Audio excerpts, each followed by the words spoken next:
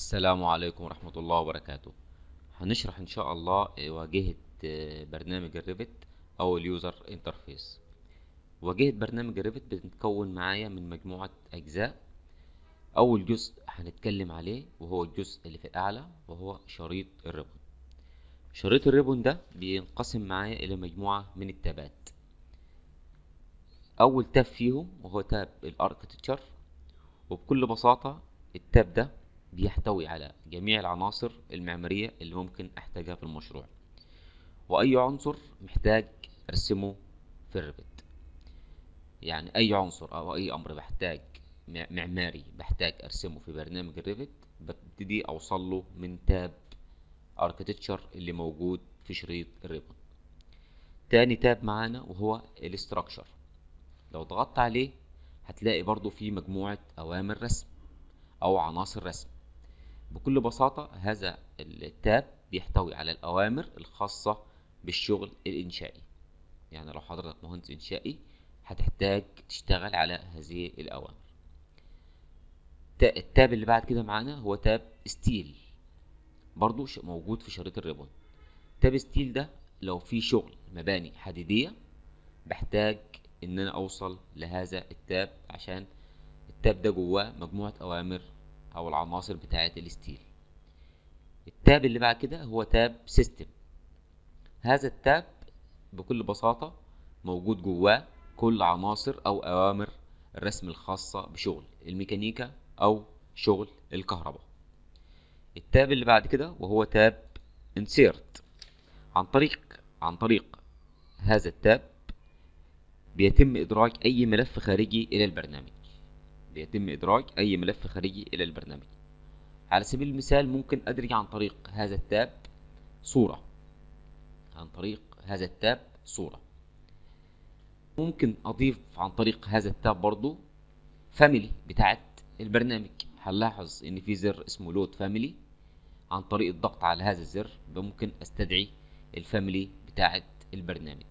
أو حتى لو عايز أعمل link ما بين ملفات ال Revit وبعضها برضو عن طريق هذا ال tab في أمر اسمه link Revit أقدر أعمل link أو لو عايز أعمل link ما بين file CAD و file Revit عن طريق link CAD أقدر أعمل هذا ال link ال tab اللي بعد كده طبعا إحنا بنشرح آه، شرح سريع للواجهة. طبعا هنتعرض إن شاء الله هنستعرض هذه الاوامر آه، عنصر عنصر إن شاء الله في المحاضرات اللي جاية.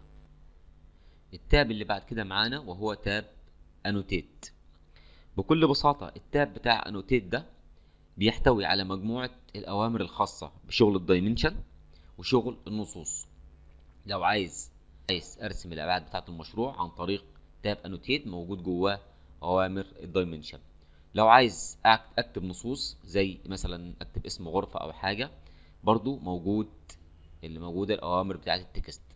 لو عايز آه، المناسيب شغل المناسيب ال tag جداول التشطيبات وهكذا عن طريق ال tab اللي اسمه annotate ال tab اللي بعد كده وهو analyze analyze دي بكل بساطة بحتاجها لما أكون عايز أعمل تحليل إنشائي أو تحليل للمشروع بتاعي.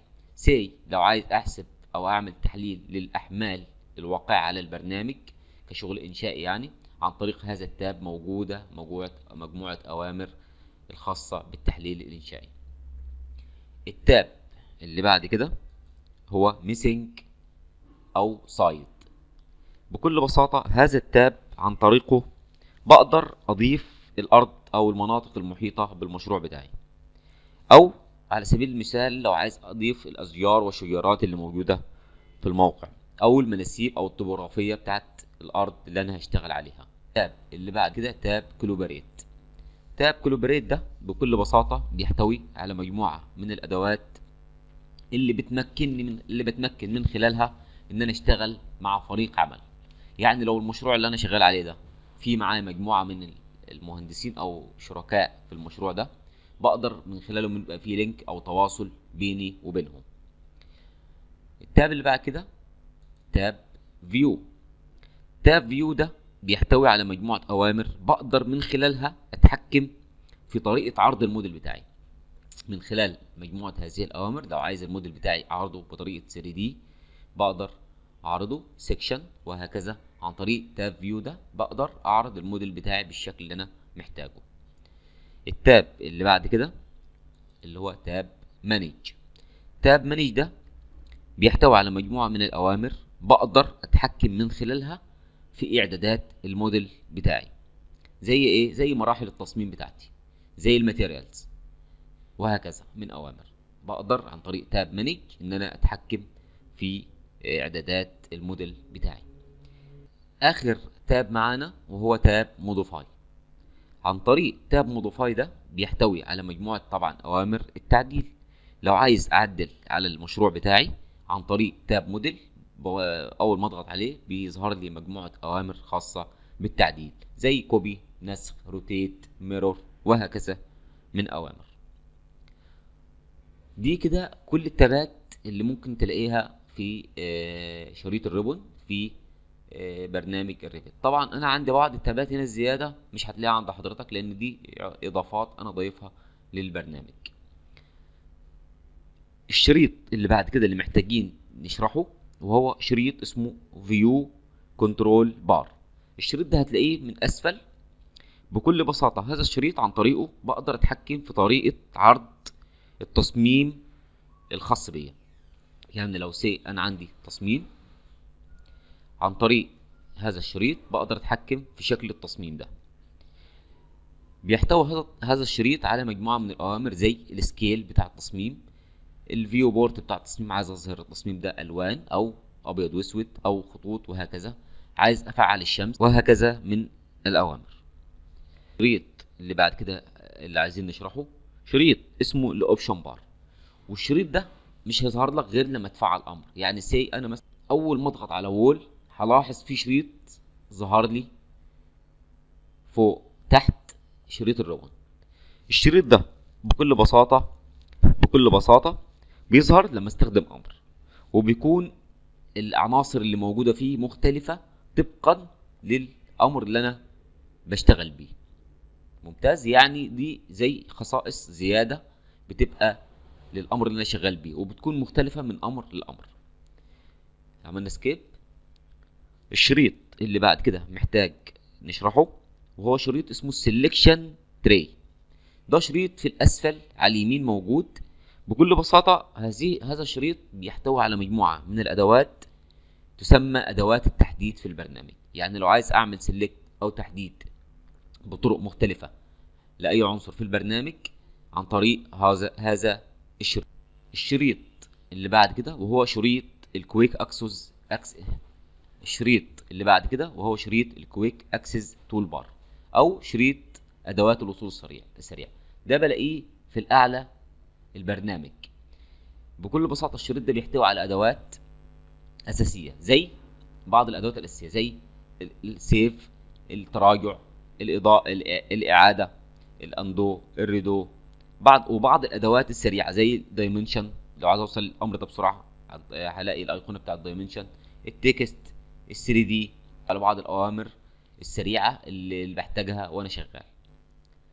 الحاجة اللي بعد كده محتاجين نشرحها لأنها برضو من الحاجات المهمة جدا جدا وأغلبية شغلك هيكون شغال بيها هو مربع اسمه ال Project Browser Project Browser بكل بساطة هذا المربع بينظم لي المشروع بتاعي لأن بقدر من خلاله إن أنا أقسم المشروع إلى مجموعة من الأجزاء. يعني لو لاحظنا في المربع بتاع Project Browser هنلاقي إن البرنامج مقسم لي المشروع بتاعي إلى مجموعة مستويات. أول مستوى اسمه ال floor plans هتلاقي لما تضغط عليه بيفتح لك levels 1 levels 2 بي بي يعني دي دي مجموعة كل المساقط شغل المساقط اللي أنا اللي أنا بشتغله في البرنامج بيظهر لي في ال floor plans دي. وكل شغل الأسقف المعلقة اللي هو ال ceiling plan هلاقيه بيظهر لي برضو في الجزء بتاع ال ceiling plan الواجهات بتاعتي الجداول ال sheets ال family أي family أنا هستخدمها في البرنامج هتظهر لي في الجزء ده. فاذا ده نقدر نسميه المنظم بتاع البرنامج. برضو ده هناخد فيه إن شاء الله وقت كبير جدا. إحنا وإحنا بنشرح فيه في المحاضرات الجاية. آخر شريط معانا برضو من الشرايط يعني آخر مربع معانا برضو من المربعات أو الأجزاء اللي إحنا هنستخدمها كتير ومهم جدا في البرنامج وهو البروبرتيز اللي هو المربع ده ال Properties ال Properties ده بكل بساطة بيحتوي هو ال Properties ال Properties دي بكل بساطة بتحتوي على خصائص المشروع بتاعتي. في خلال الجزء ده كل خصائص المشروع بتاعي بيكون موجود في هذا الجزء. ولو say اخترت wall هلاقي إن الخصائص دي اتحولت معايا لخصائص الحائط بتاعي. يعني هنا بيقول لي إن أنت خلي بالك أول لما هتيجي ترسم الحائط ده هيترسم من ال center line أنت بترسم في ال level 1 ال base offset 0 ال constraint 0 ال height unconnected وهكذا. بعض الخصائص الخاصة بعنصر ال wall ده. طبعا الخصائص دي بتكون مختلفة على حسب العنصر اللي أنا هرسمه. طيب لو طلعت من أمر wall واخترت ال door هلاقي إن الخصائص دي اتغيرت معايا لخصائص مختلفة اللي هي خاصة بال door. يعني هنا مثلا بيقول لي إن sill height بتاع الشباك.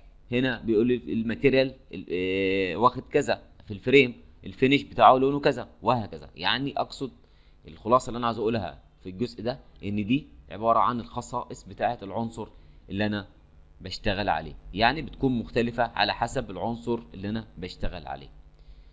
بكده نكون انتهينا من المحاضرة. أشكركم.